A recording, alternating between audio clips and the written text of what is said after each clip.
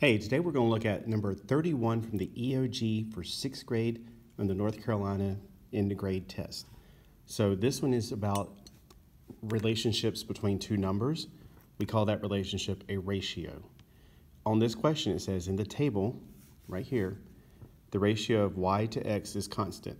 When it says it's constant, all it means is that it is proportional, that it is a ratio, that uh, if you went back to zero for one, you'd have zero for the other. So in other words, as we multiply, these numbers will go down the same amount or go up the same amount. So instead of like, uh, a lot of times when we look at these tables, we're trying to um, find the unit rate. But I often would like to look at the numbers I have and see if I can find another way. So for instance, 2 to 5 and 4 to 10. If you made these into fractions, that would be 2 fifths and 4 tenths. Those are equivalent fractions or equivalent ratios. So these relationships right here are the same. It's a 2 to 5 and a 4 to 10.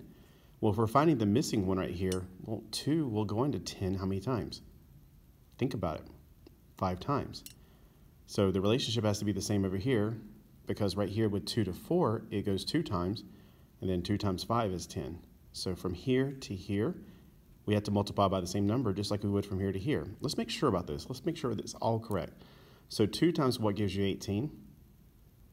It's 9. Is 9 times 5 equal to 45? Yes. So the relationship's the same for both of these all the way down. You can also look at it like this. If you multiply the same number by 2, you're going to get this, uh, but the 2.5 times 2 is going to give you 5. If you multiply that same number across the board, it gives you the same result. But I like to look at it like this. It's my favorite way of looking at it. Um, 2 will go into 10 five times. That means you're multiplying by 5 going from 2 to 10 you have to do the same amount to go from 5 to this unknown number.